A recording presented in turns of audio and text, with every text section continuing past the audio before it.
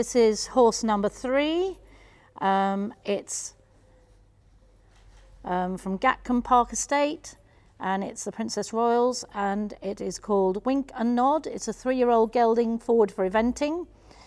Um, the sire is Passing Glance and the dam sire is Dancing Spree, which is a thoroughbred.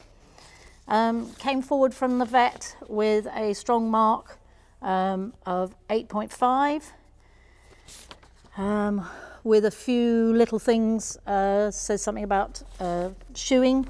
I think we've got quite low heels here. Um, conformation, we felt, uh, has a very well shaped set neck, uh, but a little bit weak in the loins at the moment, uh, but has a very good depth through the body. Uh, conformation is a seven.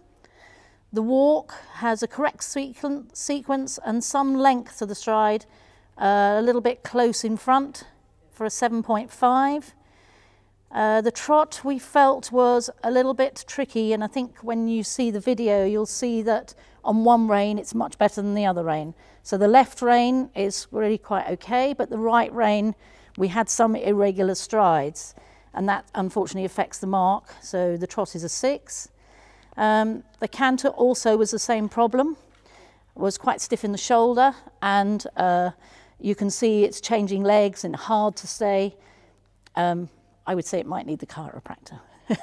uh, but uh, overall, this is a six for the canter. Um, the jump, it just looked completely gobsmacked by the whole thing, so it just wasn't really able to show itself. So we felt it was a little bit inexperienced to jump well today for a 6.5. Um, and overall, I think it's a little weak at the moment in the back. Um, and as we had this difference between the two reins today. Uh, but overall you score a 7.01 and this is a silver, so well done.